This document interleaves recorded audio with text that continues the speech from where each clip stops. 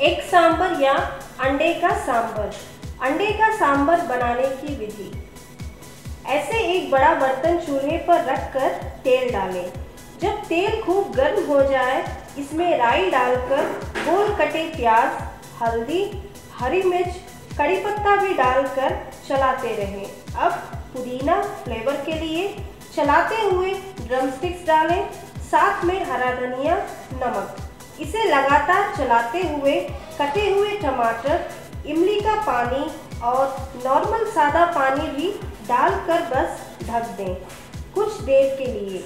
Boil होने के कुछ देर बाद इसमें लाल मिर्च पाउडर, चीनी, मेथी का पाउडर भी डालकर मिला लें। अब हम बॉइल्ड और मैश तुअर दाल इसमें डालेंगे।